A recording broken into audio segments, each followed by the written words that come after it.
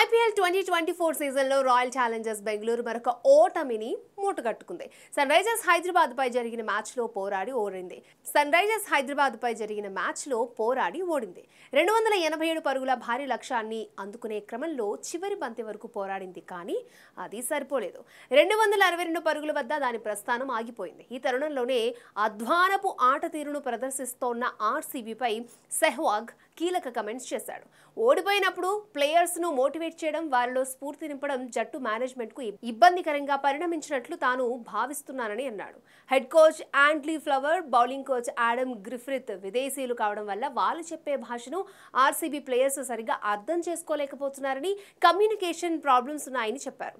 ఆర్సీబీలో ఆడే సగం మంది భారతీయ ప్లేయర్లు ఇంగ్లీష్ను అర్థం చేసుకోలేరని అలాంటప్పుడు వారిని ఎలా మోటివేట్ చేయగలుగుతారు? వారిలో ఎలా స్ఫూర్తిని నింపగలుగుతారని క్వశ్చన్ చేశాడు. ఆర్సీబీలో ఆడే ఇండియన్ ప్లేయర్స్ తమ భావాలను హెడ్ కోచ్ బౌలింగ్ కోచ్తో పంచుకోలేకపోతున్నారని సెహ్వాగ్ అభిప్రాయపడ్డాడు. ఆర్సీబీ సపోర్టింగ్ స్టాఫ్లో ఎక్కువ మంది భారతీయులు లేకపోవడం ఈ సమస్యకు ప్రధాన కారణమని వ్యాఖ్యానించాడు. తమ సపోర్టింగ్ స్టాఫ్లో ఒకరిద్దరు భారతీయులను తీసుకోవాల్సిన అవసరం ఉందని పేర్కొన్నాడు. టీంలో డజను మంది భారతీయ ఆటగాళ్ళుండగా మరో పది మంది వరకు ఓవర్సీస్ ప్లేయర్స్ ఉన్నారని సపోర్టింగ్ స్టాఫ్ మొత్తం విదేశీయులే ఉన్నారని అక్కడే అసలు సమస్య తలెత్తుతోందని సెహ్వాగ్ వివరించాడు.